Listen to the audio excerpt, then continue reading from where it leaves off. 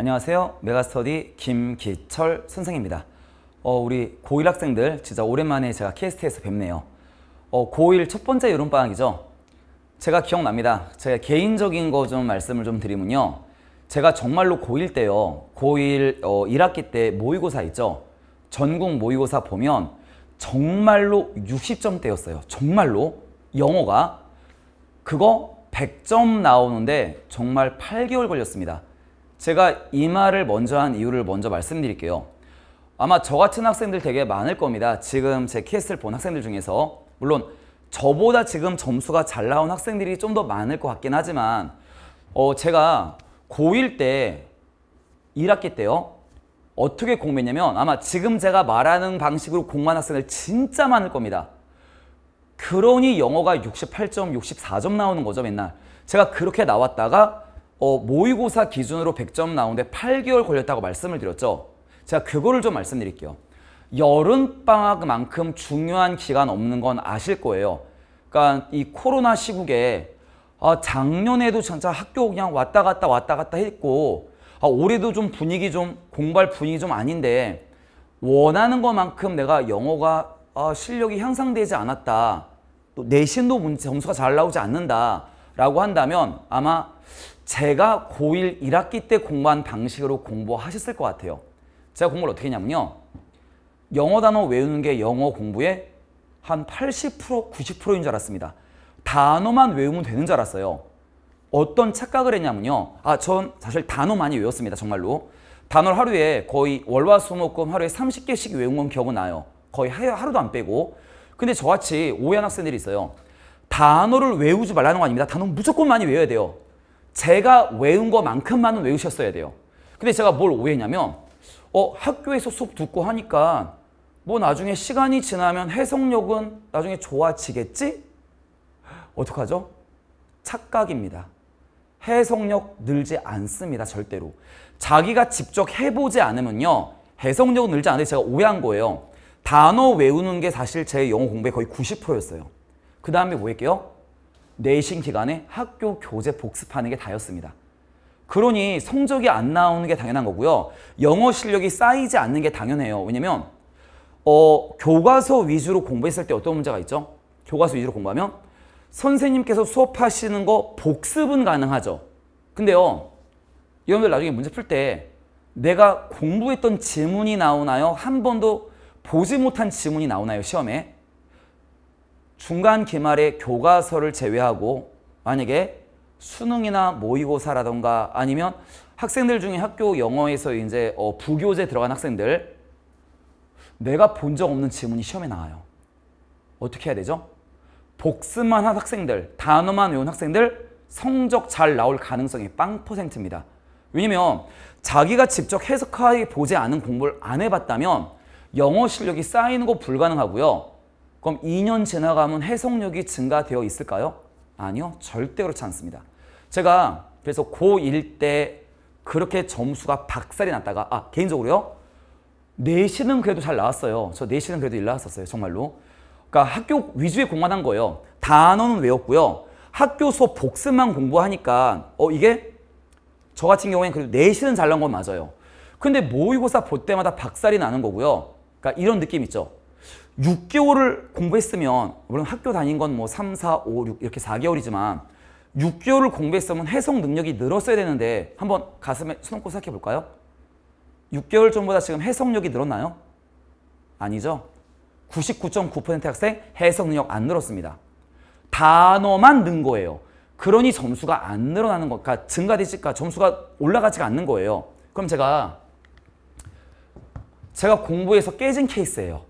그 다음에 또 많은 제 제자들이 이렇게 공부해서 깨진 케이스 한번 제가 한번 말씀드릴게요. 첫째, 단어 외우는 걸 영어 공부로 알고 있습니다.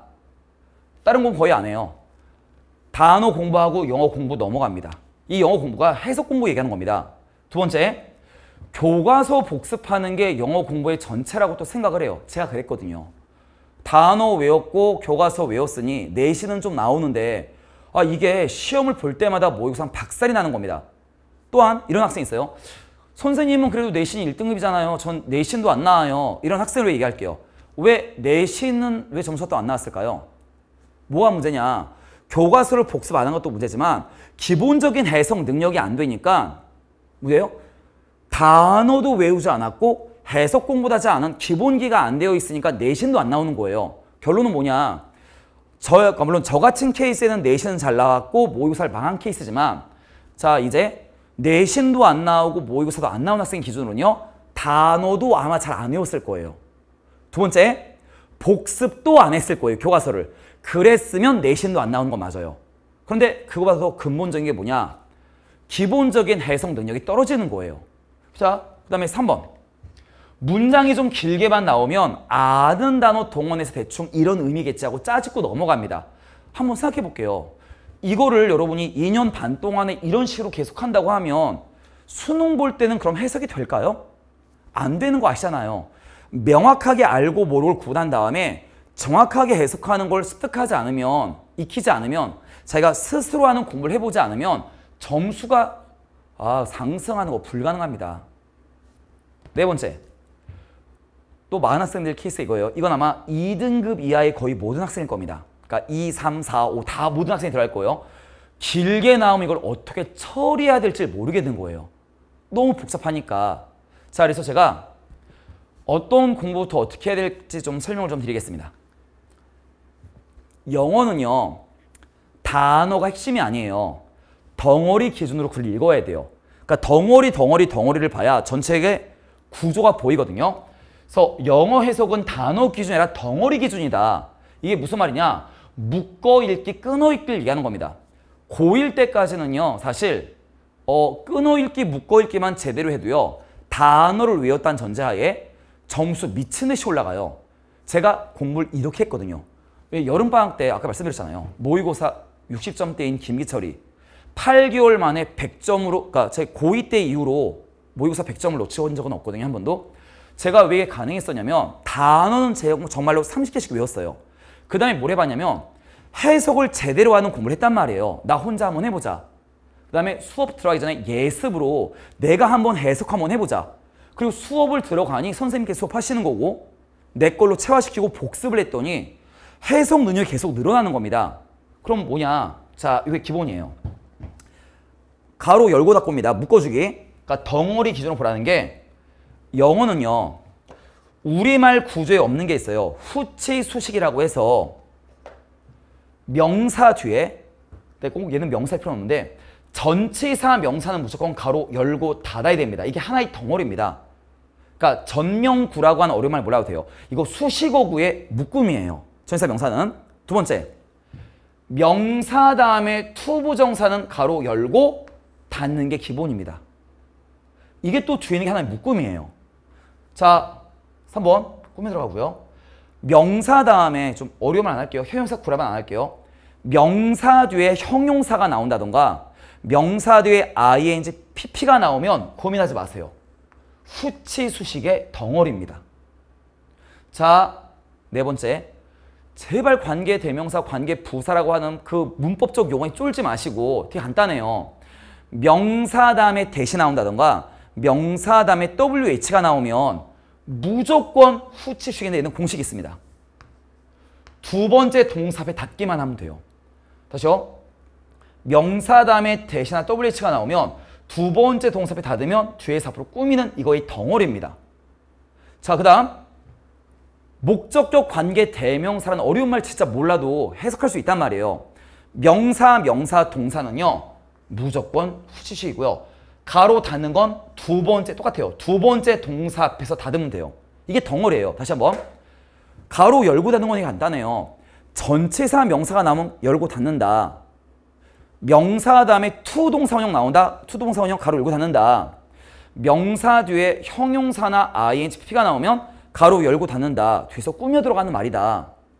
명사 다음에 제발 관계사람 말 쫄지 말고 명사 다음에 대시나 WH가 나온다. 가로 열고 두 번째 동사 앞에 닫은 다음에 뒤에서 앞으로 꾸며 들어가는 덩어리다.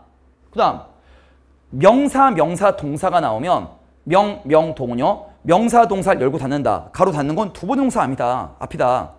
뒤에서 앞으로 꾸며 들어간다. 이게 가로 열고 닫기 묶어 읽기입니다. 그럼 끊어 읽기는 뭐냐? 되게 간단해요. 동사 앞에 끊어올거라. 접사 앞에 끊어올거라. 되게 간단해요. 뭐냐면 영어는요. 단어 기준이 아니라 덩어리 기준이에요. 그래서 아 묶어 읽고 끊어 읽고 묶어 읽고 끊어 읽으면 고1, 고2 때까지는 아무 문제 없이 공부 잘할 수 있습니다. 물론 고3 때 올라가면 더 길어지면 다른 방식을 또 쓸 거예요. 근데 지금은 그건 고민하지 마세요. 아, 묶어 읽고 끊어 읽고의 덩어리를 봐야 되는 거구나. 그럼 제가 6월 모의고사에 나왔던 두 줄짜리 문장을 가지고 한번 연습 한번 해볼게요. 이렇게 해야 이해되는 문장으로 확 변합니다. 아는 단어로 짜집게 하는 게 아니에요. 볼게요. 전치사 명사는 열고 닫아야 돼요. 수식어고. 문화에서. 어? 명사 다음에 WH가 나오면 제발 관계 부사란 말 몰라도 돼요. 명사 뒤에 WH는 후치식이에요. 해석하지 않습니다. 이거는. 두 번째 동사 앞이 다는 건 맞는데 잠깐만. 이게 명사지. 명사 다음에 대신한 WH가 나오는 뭐라고? 또 가로 닫아야지 그러면. 또 후치 수식. 볼게요. 문화에서 there is, there라는 뭐가 있답니다. 믿음이 있는 문화에선 근데 어느 믿음? 너가 can have 가질 수 있어. 어떠한 것도 가질 수 있는. 잠깐만요. 또 명사, 명사, 동사는 후치시에 또 가로를 닫아야 됩니다. 이렇게 보는 거예요. 아, 네가 진정으로 원하는 어떠한 것을 네가 가질 수 있다고 하는 믿음이 있는 문화에서는 어? 나 내가 원하는 거 다 가질 수 있어. 이런 믿음 있는 문화에선 대열이 있다, 뭐 없다, 문제 없다. 전사명사. 선택할 때 선택에 문제 같은 건 없지 않냐. 가로 열고 닫아야 구조가 보이고 덩어리가 보인다는 얘기예요. 어? 그럼 지금 쓴 거? 아, 명사 다음에 대신한 WH가 나오면 후치시구나. 아, 명명동은 후치시구나. 이것만 알았으면 문장 쉽게 이해할 수 있는 문장이었단 말이에요. 그 밑에 거 봅시다. 그들은 도섭에 끊고요. 그들은 발전시킬 수 있습니다. 아 참고로 이건 왜 쓸지 말씀드릴게요. 어, 아이들한테 과도한 칭찬을 하면 안 좋다의 글이었고요. 이 데이가 아이들이었어요.